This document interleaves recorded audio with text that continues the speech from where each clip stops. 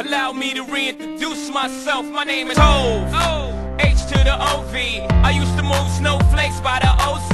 I guess even back then you could call me CEO of the ROC. Ho, fresh out the frying pan into the fire. I be the music biz number one supplier. Fly it in a piece of paper bearing my name. Got the hottest chick in the game wearing my chain. That's right, Hov. Oh, not DOC, but similar to them letters. No one could do it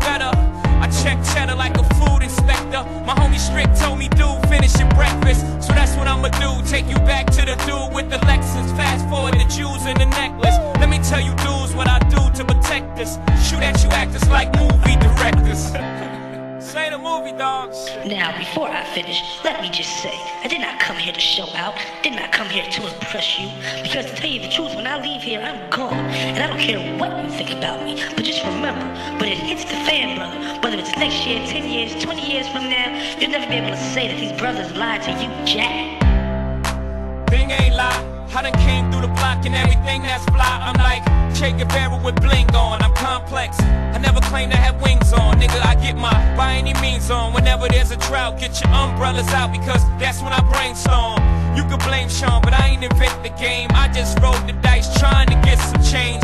And I do it twice, ain't no sense in me lying as if I am a different man. And I could blame my environment, but ain't no reason why I be buying expensive chains.